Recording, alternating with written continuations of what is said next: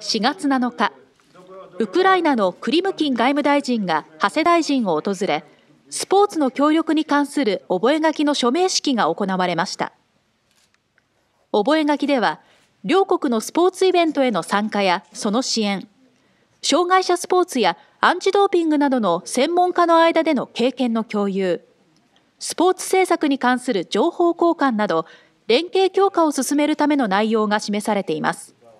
あのオリンピック招致の件でウクライナに参りました時に、まあ、幸いにもブブカさんとボルゾフさんと、えー、お会いすることができました。またあのウクライナのオリンピック委員会や、えー、国立体育大学キエフにあります訪問することができました。その時からですね、えー、両国のスポーツ交流をより進展させることを念願しておりましたので今日こういう機会を得られて本当に喜んでいます